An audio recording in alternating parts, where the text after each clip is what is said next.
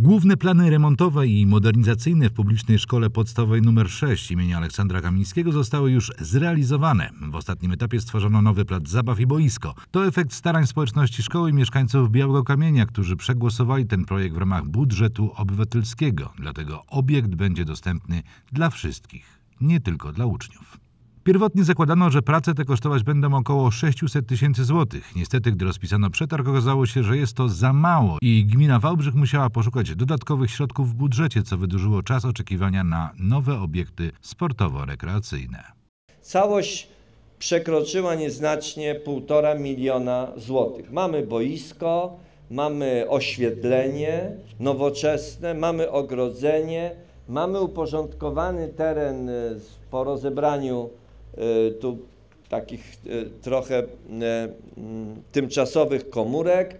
Mamy rozwiązany problem kanalizacji sanitarnej, która dawała o sobie w specyficzny sposób znać cały czas, jak pamiętam, nasze spotkania w sali gimnastycznej.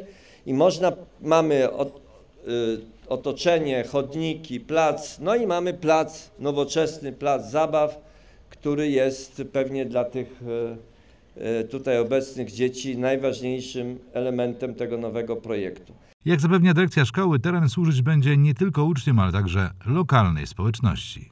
Nasze boisko będzie dostępne w okresie wakacyjnym w godzinach pracy szkoły od godziny 9 do 15, natomiast już po rozpoczęciu roku szkolnego w godzinach pracy szkoły w zależności od tego, jak nam się ułożą tutaj harmonogramy pracowników, ale myślę, że do godziny 19-20 na pewno wszyscy, którzy będą chcieli korzystać z boiska, będą mieli taką możliwość. W tegorocznej edycji budżetu obywatelskiego o głosy mieszkańców walczy 14 projektów. Znajdziecie je na stronie wbo.wałbrzych.eu. Głosowanie rusza 1 września. W puli do rozdysponowania jest łącznie 4,5 miliona złotych.